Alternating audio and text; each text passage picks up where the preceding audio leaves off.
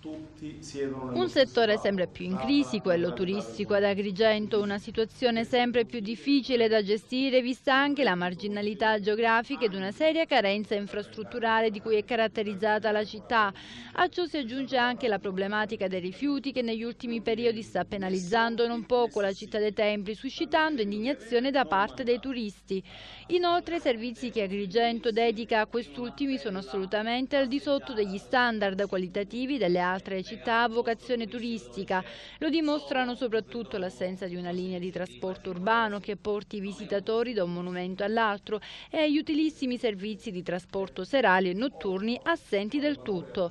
Oggi per discutere di questa seria problematica che potrebbe compromettere seriamente lo stato economico di Agrigento, Confindustria ha convocato una conferenza stampa. Gli imprenditori che hanno fatto investimenti nell'indotto del turismo costituiscono un valore aggiunto per il territorio perché creano reddito e benessere sociale attraverso gli occupati e le relative famiglie. Per poter continuare a fare ciò hanno bisogno di normalità e la normalità vuol dire assicurare alle strutture produttive servizi diretti che in troppi casi mancano, informazioni utili per i clienti e visitatori della città o dei territori e soprattutto nelle istituzioni e nella politica avere contezza che un'impresa per poter andare avanti ha bisogno di attenzioni.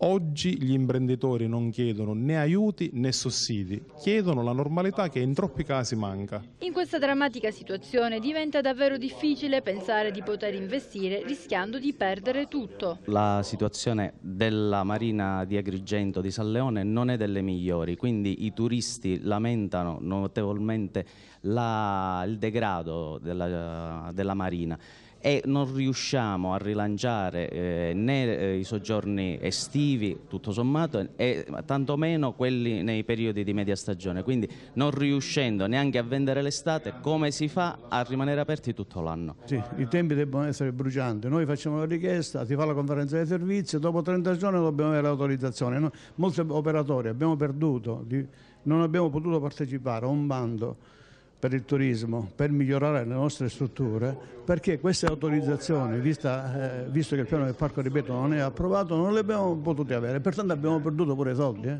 Noi operatori già abbiamo i progetti pronti per, dire, per far sì che i nostri alberghi, ripeto, quelli che si trovano nell'area possono essere migliorati.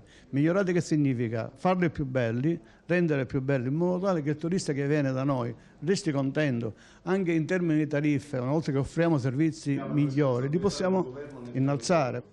Per comprenderci il solo singolo